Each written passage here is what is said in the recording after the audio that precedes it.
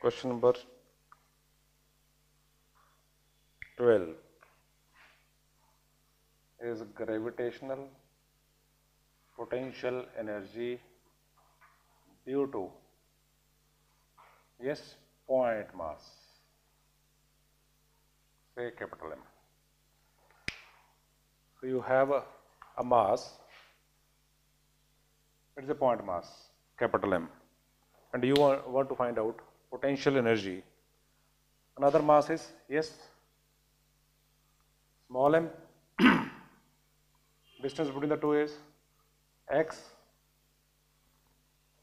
So first part is to find out work. If you move this object small m from x to infinity you will have to do work. Why? Because the force is attractive so if you move this mass from x to infinity you will have to do work. Like from the surface of earth if you move an object away then you will have to do work. And the work done by you gets stored in form of gravitational potential energy. So before we plot for work how force varies between the two? Yes how force varies between the two. Fx is equal to g m m over x square. So if you move it from this point to this point small distance dx you will have to do small amount of work. On this graph fx x graph is yes inversely proportional to fx is equal to gmm by x power 2 force is this small amount of work done. Yes. If you move this object small m from x to x plus delta x you will have to do some work. That work on this graph is yes work done is area under fx graph. So this is force fx this is dx this small area represents small amount of work done. So it is fx dx total work done yes. Integrate both sides. If you integrate both sides you get a total work done. In moving this object from yes x to infinity that is why the limits are x to infinity. So total work done is equal to fx is equal to what? G m m by x square integration is equal to g m m x is power minus 2 dx.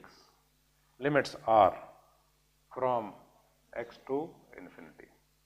What is the integration for x power minus 2 g m m integration of x power n.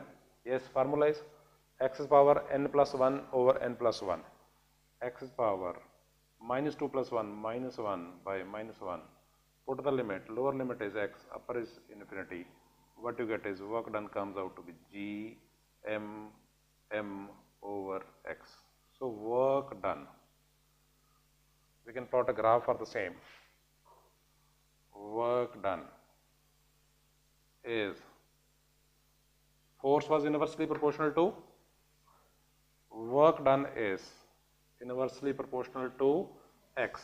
That is why work done is equal to g m m over x. Inversely proportional to force was inversely proportional to x power 2 work done is inversely proportional to x power 1 time with you is 3 minutes to write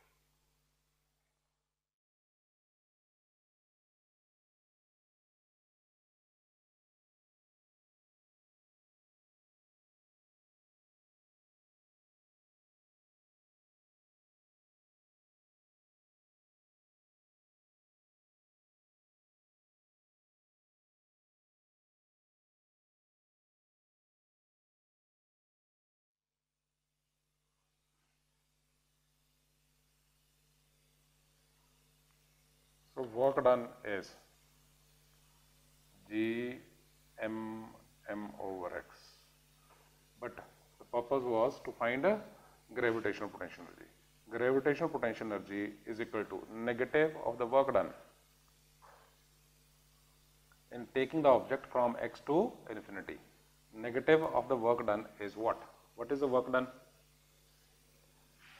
G M M potential energy is equal to minus g m m x. Graph for the same will come out to be what? Yes, magnitude remains same, but work done was positive above this axis. Potential energy will be below this. So, magnitude is same, but sign is negative. One minute to complete.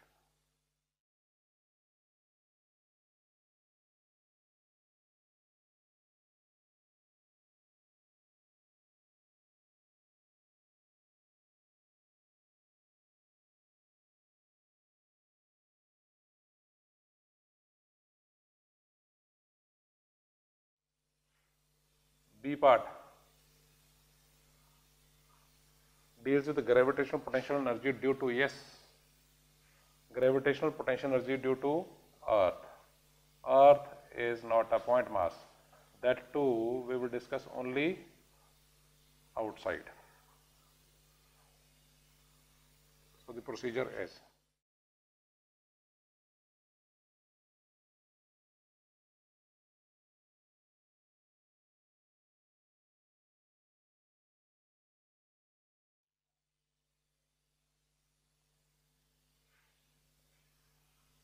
Earth is a point mass or a sphere?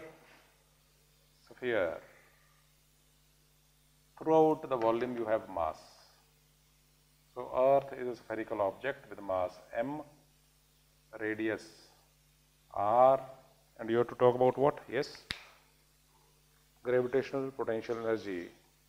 Another mass is small m, distance at which it is is x. Same procedure. First step, yes. How force varies with x? Formula is, yes, Fx is equal to gmm by x square. So, how force varies? Only outside, not inside. Outside it is inversely proportional to x square. How you find work? Work done in moving the object from this point to infinity. So, you want to take this object from this point to infinity.